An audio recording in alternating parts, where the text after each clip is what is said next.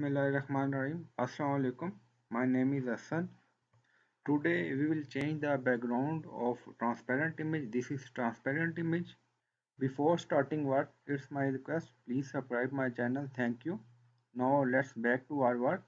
If you want to change transparent background to white, then this is easy way that you can save the image in J JPG format JPG format click on save as and now you can write your name here one or you can rename according to your requirement and here you see save as type. You can select here JPG format and now click on save and you can select quality here. You can uh, select quality according to your requirement and then click on ok now image is saved and now we will check. This is folder and this is transparent image. Here you see. And this is image with jpg format. Here you see the difference. This is transparent and this is not. Now we will change background to any color or any image now first we will change background to any image. So we will select image from folder and drag and drop here. Go back to folder and now this is image and now select image and drag and drop on here. Now you can select size. You can select proportional and now click on ok. Here tick icon and now drag this layer to below now you see background image and now you can resize the background image. Press ctrl plus t.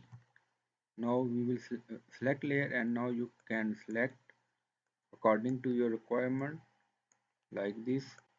And now again click on tick and now you see background Im image is changed now you can also save it save as and to and here you can select jpg format and click on save. And you can select quality here and ok. Now go back to folder again and then check. This is transparent image. This is image with white background and this is image with uh, background image. And here you see. Now we will change the background color. Now deselect this layer.